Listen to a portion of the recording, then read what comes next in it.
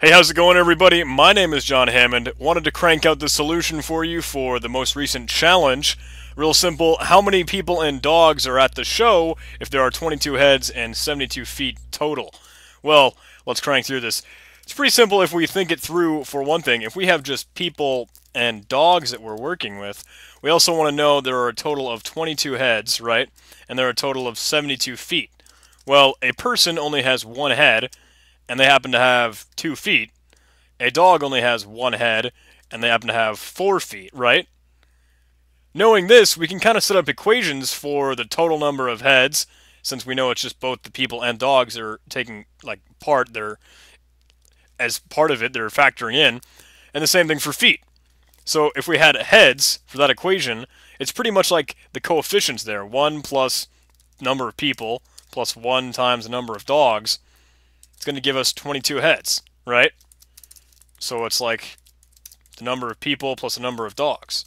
Essentially, x and y variables. That's all it is. And since we have these two equations and these two variables, it's pretty much just a simple uh, system of equations. Same thing works for feet. People, 2 plus people, 2 times people, since people have 2 feet. 4 times dogs, since a dog will have 4 feet.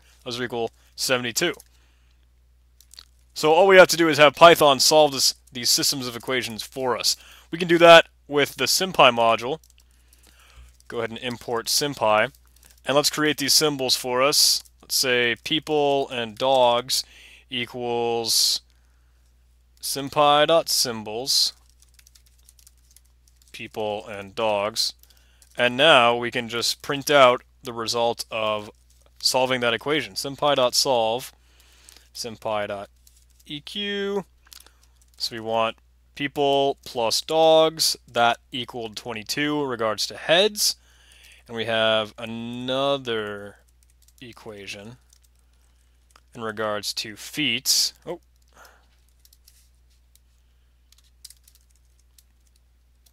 We had two feet for each person, and we had four feet for each dog, and that were that was 72 total feet.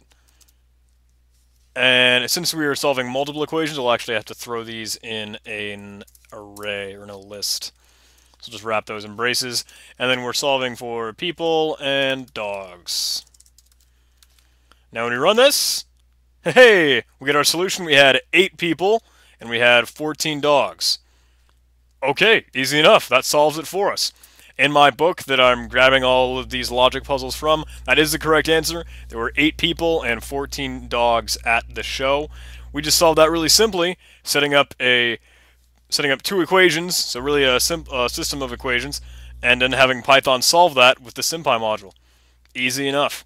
Thanks for watching, guys. Hope you enjoyed this. Hope the code that you sent in was pretty similar. See you in a new video.